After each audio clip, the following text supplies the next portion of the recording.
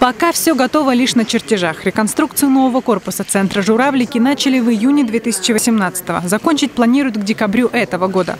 Но работы еще много. Строителям досталось аварийное здание. Когда э, мы пришли на эту площадку, здесь э, здания как такового уже не было, были остатки. В целом был лишь фундамент. Пришлось снести все. На реконструкцию потратили почти 200 миллионов рублей краевого и федерального бюджетов. Сегодня уже готовы стены, тепловая камера, проведены коммуникации и электричество. Достаточно широкий дверной проем, который позволяет проехать непосредственно на коляске в санузел.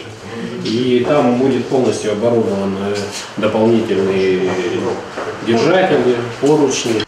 После масштабной реконструкции площадь здания увеличится в три раза. Появится бассейн, грязелечебница. Ежедневно будут принимать на 100 пациентов больше, чем раньше. Все вместе это должно сократить время ожидания реабилитации. Сейчас дети ждут по два месяца.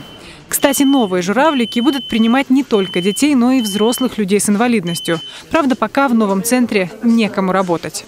Будет увеличиваться штатное расписание непосредственно на 30 единиц, где будут включены как медицинские работники, так и психолого-педагогический состав.